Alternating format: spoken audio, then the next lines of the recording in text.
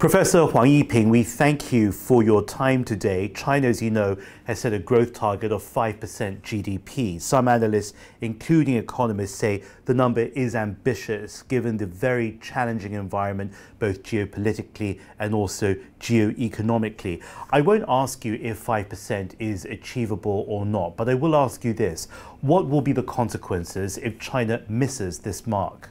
Well, a number of points. Um, number one, I think China's GDP growth potential is probably around five or slightly above. So, um, target of five percent is not particularly ambitious.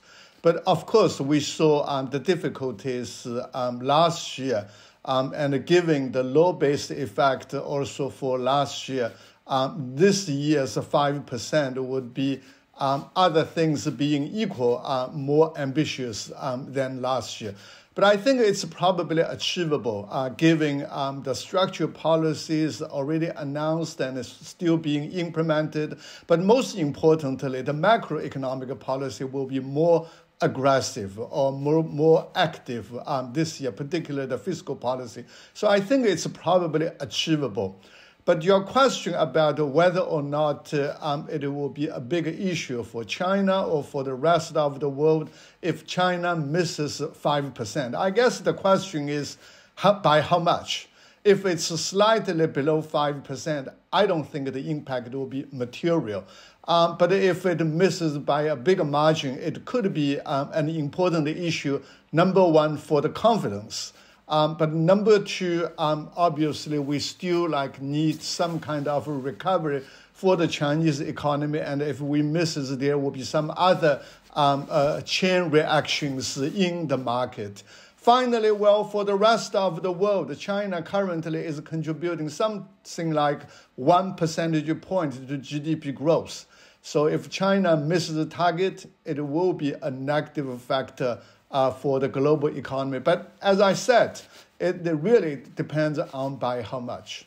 May we take a look now at the new growth and stimulus measures, including those that were unveiled by Premier Li Qiang in his report to the National People's Congress. Again, there is concern that this is not enough at a time when millions of people, including young people in China, are looking for a job.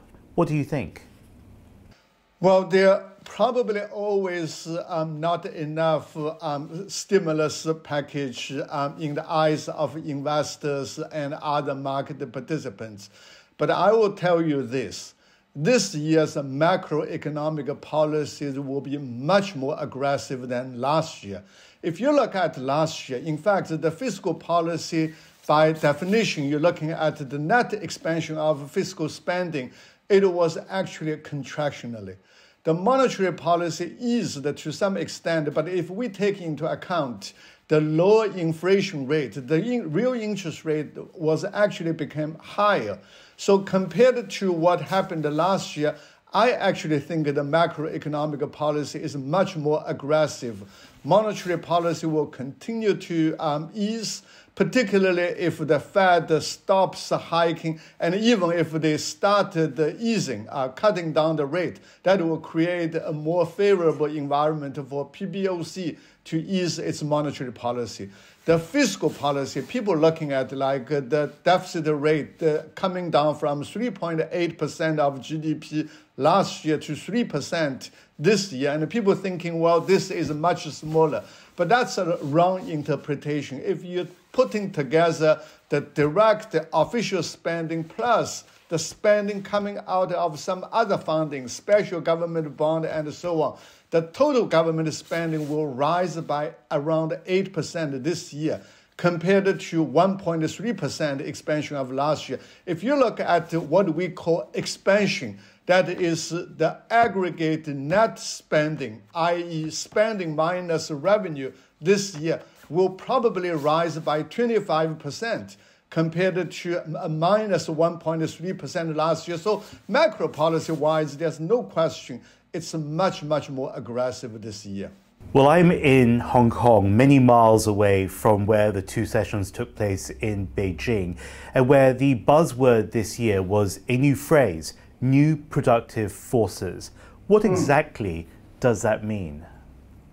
Well, it might be difficult for everybody to ac- accurately understand what it does mean, but I'll tell you this the Chinese growth model is changing from input driven growth to innovation driven growth.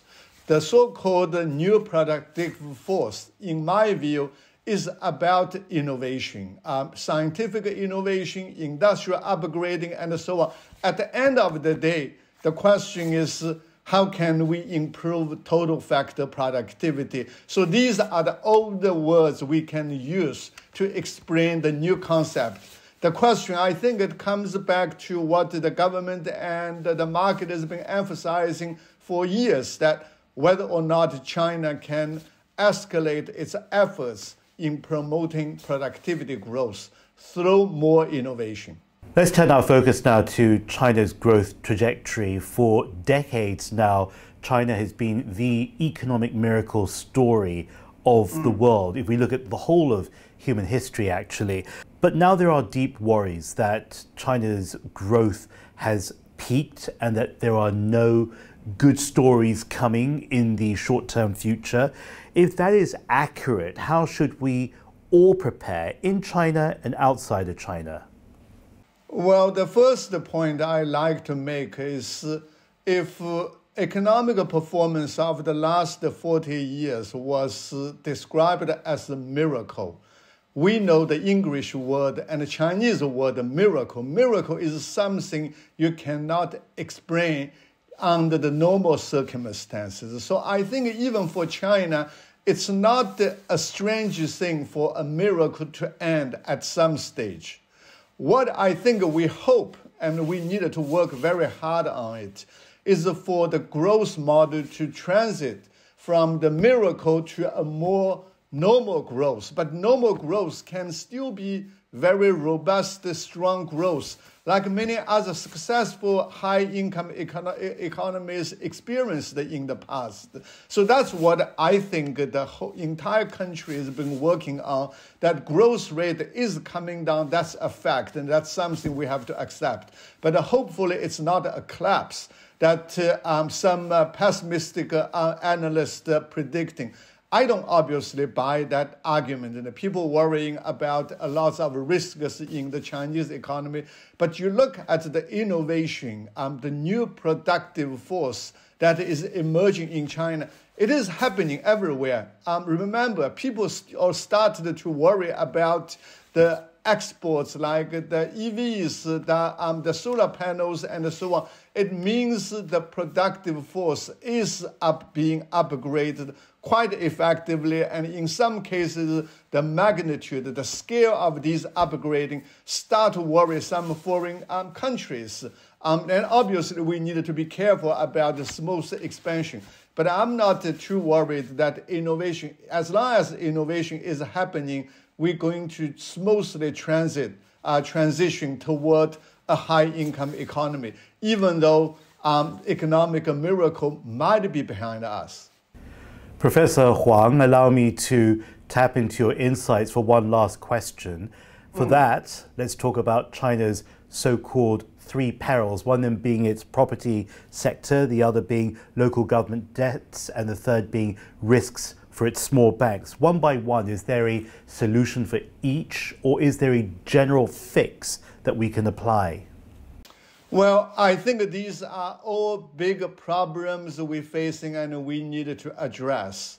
However, if you think of these issues as causes for systemic financial crisis, that might be a wrong assessment. I give just give you an, an example. So people worrying about lots of local government debt and think, well, if you have a debt crisis, the economy will collapse, right? But we have lots of local government borrowing, and which amount to something like 40% of GDP. If you add the official central government debt, the total government liabilities at the moment is around 60% of GDP.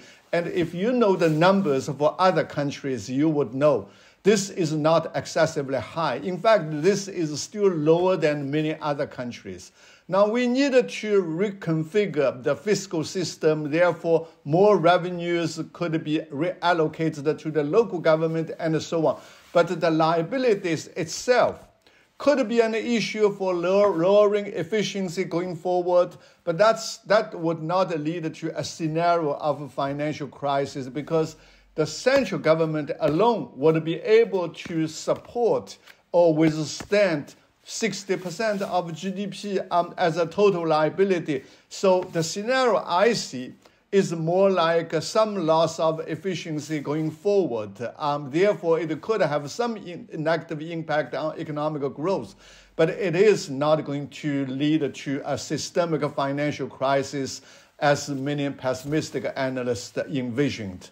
Um, they might be right um, for these other countries when they saw these problems. But I think we do need to realize the central government liabilities at the moment is still only 20% of GDP and still has a capacity to expand or to take on some more responsibilities to stabilize the local problems. Professor Huang Yiping, it's been fascinating conversing with you and learning from you today. Thank you. Well, that was a fascinating conversation for me as a journalist and a broadcaster. I love how people walk around a question and look at it from a 360 degree perspective. And that is exactly the value that we got from that interview with Professor Huang Yiping. I also thought it was very good to hear and encouraging to hear that he not only thinks there's a potential to meet 5% economic growth, but maybe even to surpass it by some margin as well. Why is that good? Well, it's good for 1.4 billion people in China itself, but that's also really good for 8 billion people around the world.